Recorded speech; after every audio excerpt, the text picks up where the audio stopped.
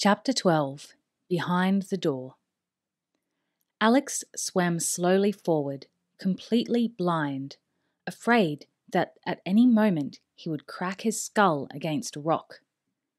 Despite the dry suit, he was beginning to feel the chill of the water and knew that he had to find his way out soon. His hand brushed against something, but his fingers were too numb to tell what it was. He reached out and pulled himself forward. His feet touched the bottom, and it was then that he realized he could see. Somehow, from somewhere, light was seeping into the area beyond the submerged tunnel. Slowly, his vision adjusted itself. Waving his hand in front of his face, he could just make out his fingers. He was holding onto a wooden beam a collapsed roof support. He closed his eyes, then opened them again. The darkness had retreated, showing him a crossroads cut into the rock, the meeting place of three tunnels. The fourth, behind him, was the one that was flooded. As vague as the light was, it gave him strength.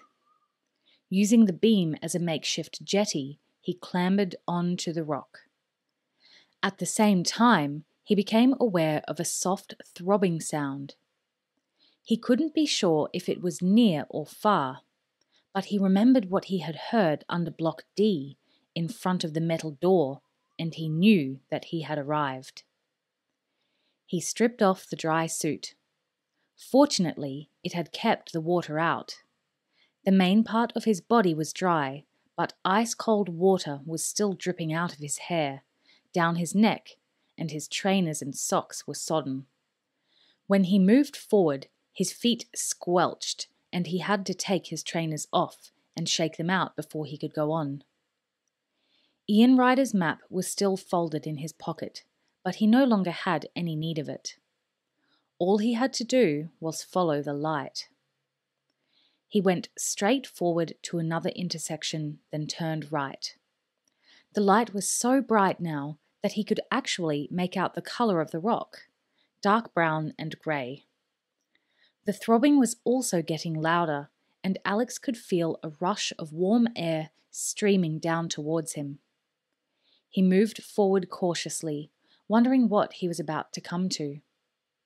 He turned a corner, and suddenly the rock on both sides gave way to new brick, with metal grills set at intervals just above the level of the floor. The old mine shaft had been converted. It was being used as the outlet for some sort of air conditioning system.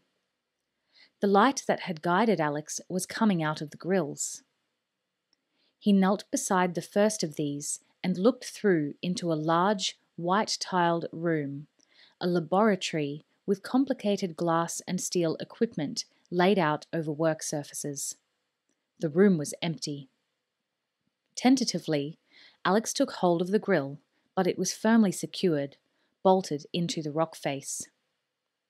The second grill belonged to the same room. It was also screwed on tight. Alex continued up the tunnel to a third grill. This one looked into a storage room filled with the silver boxes that Alex had seen being delivered by the submarine the night before. He took the grill in both hands and pulled. It came away from the rock easily, and looking closer, he understood why. Ian Rider had been here ahead of him. He had cut through the bolts which had held it in place. Alex set the grill down silently. He felt sad. Ian Rider had found his way through the mine, drawn the map, swum through the submerged tunnel, and opened the grill all on his own. Alex wouldn't have got nearly as far as this without his help, and he wished now that he had known his uncle a little better, and perhaps admired him a little more before he died. Carefully, he began to squeeze through the rectangular hole and lower himself into the room. At the last minute, lying on his stomach with his feet dangling below, he reached for the grill and set it back in place. Provided nobody looked too closely, they wouldn't see anything wrong. he dropped down to the ground and landed, cat like, on the balls of his feet. The throbbing was louder now, coming from somewhere outside. It would cover any noise he made. He went over to the nearest of the silver boxes and examined it. This time it clicked open in his hands, but when he looked inside, it was empty. Whatever had been delivered was already in use. He checked for cameras, then crossed to the door. It was unlocked. He opened it, one centimetre at a time, and peered out. The door led onto a wide corridor with an automatic sliding door at each end and a silver handrail running its full length. 1900 hours. Red shift to assembly line. Blue shift to decontamination. The voice rang out over a loudspeaker system, neither male nor female, emotionless, inhuman. Alex glanced at his watch. It was already seven o'clock in the evening. It had taken him longer than he'd thought to get through the mine. He stole forward. It wasn't exactly a passage that he had found, it was more an observation platform. He reached the rail and looked down. Alex hadn't had any idea what he would find behind the metal door, but what he was seeing now was far beyond anything he could have imagined. It was a huge chamber, the walls, half naked rock, half polished steel, lined with computer equipment, electronic meters, machines that blinked and flickered with a life of their own. It was staffed by 40 or 50 people, some in white coats, others in overalls, all wearing armbands of different colours red, yellow, blue, and green. Arc lights beamed down from above. Armed guards stood at each doorway, watching the work with blank faces. For this was where the Stormbreakers were being assembled. The computers were being slowly carried in a long, continuous line along a conveyor belt, past the various scientists and technicians. The strange thing was that they already looked finished. And of course, they had to be. Sayle had told him. They were actually being shipped out during the course of that afternoon and night. So, what last minute adjustment was being made here in this secret factory? And why was so much of the production line hidden away? What Alex had seen on his tour of Sayle Enterprises had only been the tip of the iceberg. The main body of the factory was here, underground. He looked more closely. He remembered the stormbreaker that he had used, and now he noticed something that he hadn't seen then. A strip of plastic had been drawn back in the casing above each of the screens to reveal a small compartment, cylindrical and about five centimeters deep. The computers were passing underneath a bizarre machine cantilevers, wires, and hydraulic arms. Opaque silver test tubes were being fed along a narrow cage, moving forward as if to greet the computers. One tube for each computer. There was a meeting point. With infinite precision, the tubes were lifted out, brought round, and then dropped into the exposed compartments. After that, the stormbreakers were accelerated forward. A second machine closed and heat sealed the plastic strips. By the time the computers reached the end of the line, where they were packed into red and white Sayle Enterprises boxes, the compartments were completely invisible. A movement caught his eye, and Alex looked beyond the assembly line and through a huge window into the chamber next door. Two men in biohazard suits were walking clumsily together, as if in slow motion. They stopped. An alarm began to sound, and suddenly they disappeared in a cloud of white steam. Alex remembered what he had just heard. Were they being decontaminated? But if the Stormbreaker was based on the round processor, there couldn't possibly be any need for such an extreme. And anyway, this was like nothing Alex had ever seen before. If the men were being decontaminated, What were they being decontaminated from? Agent Gregorovich, report to the biocontainment zone. This is a call for Agent Gregorovich. A lean, fair haired figure dressed in black detached himself from the assembly line and walked languidly towards a door that slid open to receive him. For the second time, Alex found himself looking at the Russian contract killer, Yassen Gregorovich. What was going on? Alex thought back to the submarine and the vacuum sealed boxes. Of course, Yassen had brought the test tubes that were even now being inserted into the computers. The test tubes were some sort of weapon that he was using to sabotage them. No, that wasn't possible.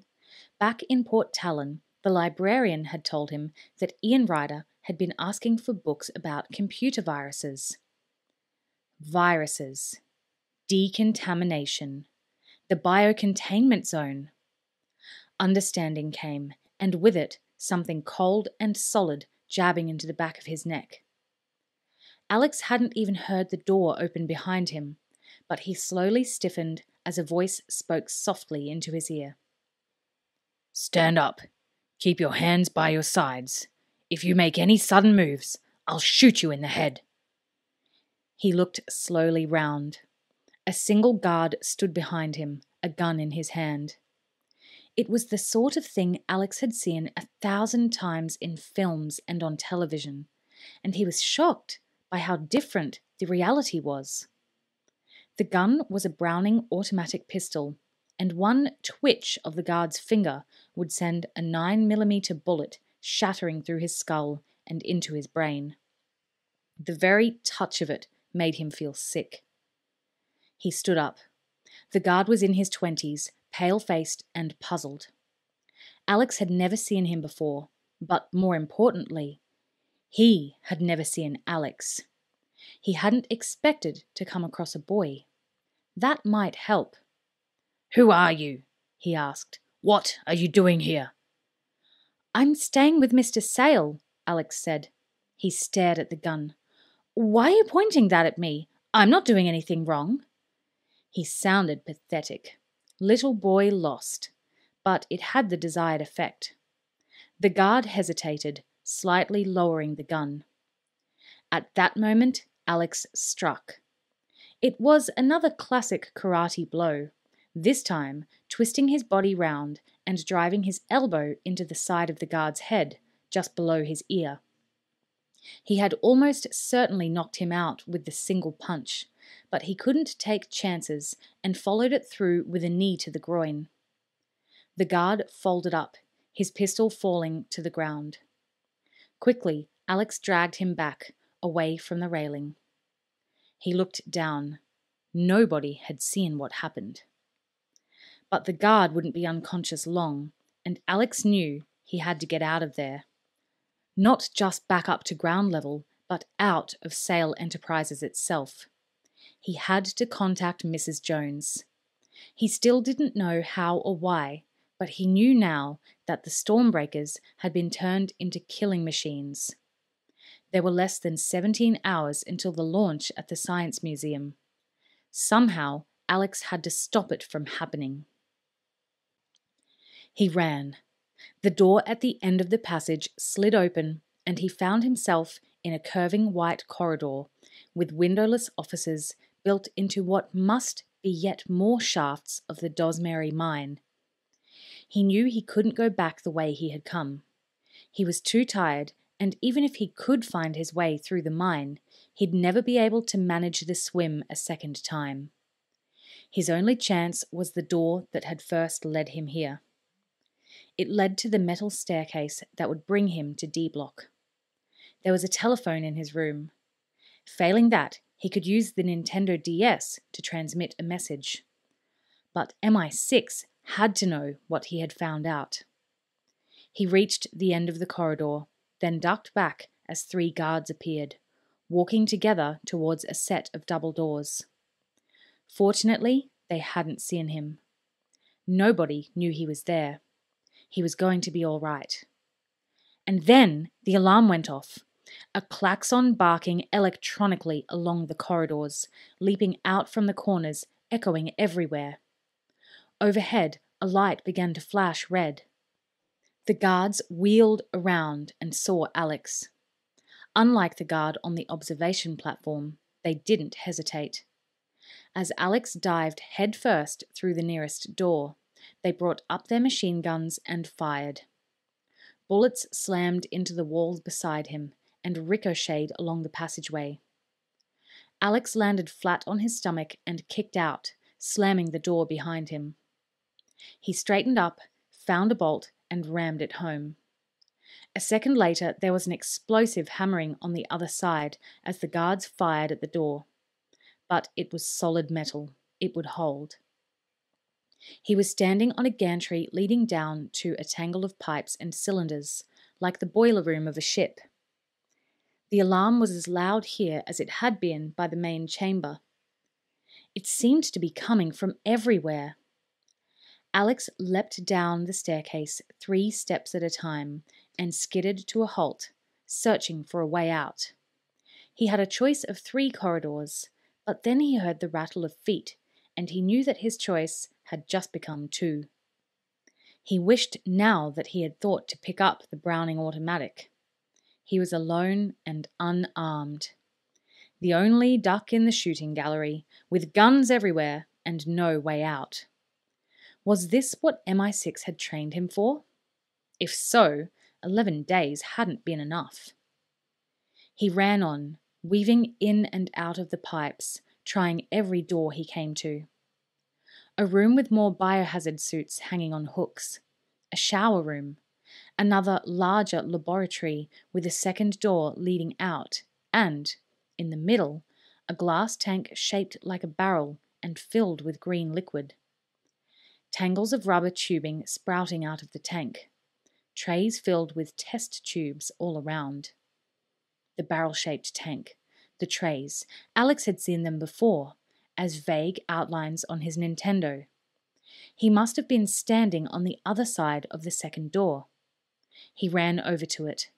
It was locked from the inside, electronically, by the glass identification plate against the wall. He would never be able to open it. He was trapped. Footsteps approached. Alex just had time to hide himself on the floor, underneath one of the work surfaces, before the first door was thrown open and two more guards ran into the laboratory. They took a quick look around without seeing him. Not here, one of them said. You'd better go up. One guard walked out the way he had come.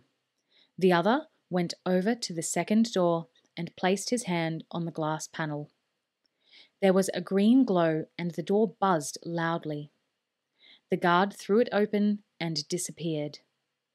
Alex rolled forward as the door swung shut and just managed to get his hand into the crack. He waited a moment, then stood up. He pulled the door open. As he had hoped, he was looking out into the unfinished passageway where he had been surprised by Nadia Vole. The guard had already gone on ahead. Alex slipped out, closing the door behind him, cutting off the sound of the klaxon. He made his way up the metal stairs and through a swing door. He was grateful to find himself back in the fresh air. The sun had already set, but across the lawn the airstrip was ablaze, artificially illuminated by the sort of lights Alex had seen on football pitches. There were about a dozen lorries parked next to each other. Men were loading them up with the heavy, square, red and white boxes. The cargo plane that Alex had seen when he arrived rumbled down the runway and lurched into the air. Alex knew that he was looking at the end of the assembly line. The red and white boxes were the same ones he had seen in the underground chamber. The Stormbreakers, complete with their deadly secret, were being loaded up and delivered. By morning, they would be all over the country. Keeping low, he ran past the fountain and across the grass. He thought about making for the main gate, but he knew that was hopeless. The guards would have been alerted. They'd be waiting for him. Nor could he climb the perimeter fence, not with the razor wire stretched out across the top. No, his own room seemed the best answer. The telephone was there, and so were his only weapons, the few gadgets that Smithers had given him four days, or was it four years ago? He entered the house through the kitchen, the same way he had left it the night before. It was only eight o'clock, but the whole place seemed to be deserted. He ran up the staircase and along the corridor to his room on the first floor. Slowly, he opened the door. It seemed his luck was holding out. There was nobody there. Without turning on the light, he went inside and snatched up the telephone. The line was dead.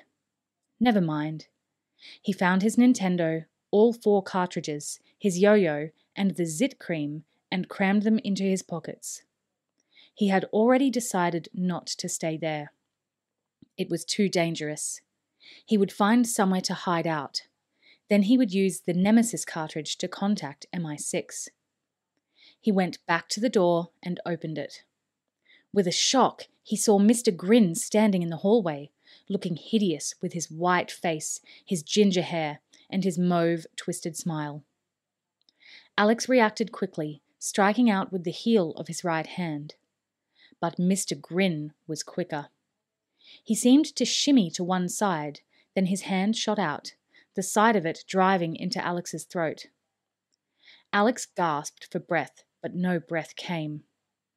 The butler made an inarticulate sound and lashed out a second time. Alex got the impression that behind the livid scars, he really was grinning, enjoying himself.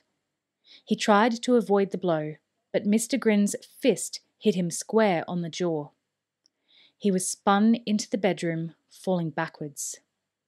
He never even remembered hitting the floor.